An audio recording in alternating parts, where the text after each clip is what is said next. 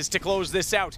Back toward B. Olof and broky. He's made no mistake. Olof's close enough. Doesn't even need to get the second shot lined up in time as Rain will fall. Naf gets the kill at middle, and he's lurking late. He'll get Twistzz as well. Watch for Stewie. He's gotten Olof alive. It's down to broky. One on two. He knows one of them's toward middle, but he knows the bomb is down inside of the site. So how does he play this? His flashbang will be utilized to try and dispel Fallen from position on the balcony and allow him to rotate over. Going to bench is a bit of a risk, though, because surely at some point in time, the peek has to come from Naf.